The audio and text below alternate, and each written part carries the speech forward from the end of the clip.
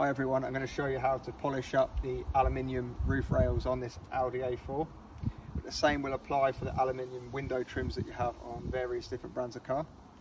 Uh, you're going to need a metal polish. This one is Metalworx from Autobrite and some steel wool which is uh, zero double zero grade, so super fine.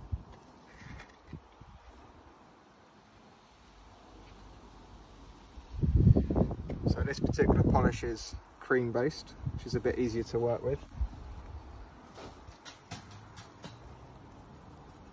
I'm going to work it into the aluminium area.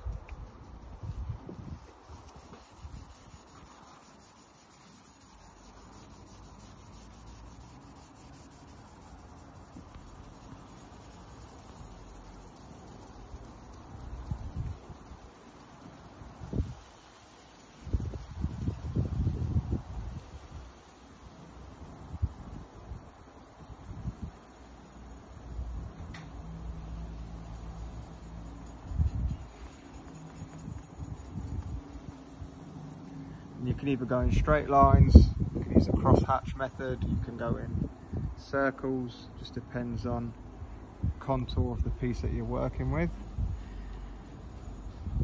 And once all of that polish has been worked in with the wool, grab yourself a clean microfiber. Buff off the excess polish.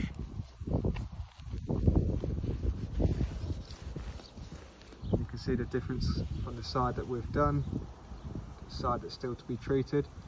And this is great for working on oxidization, watermarks, or just sun damage on aluminium window trims and roof rails.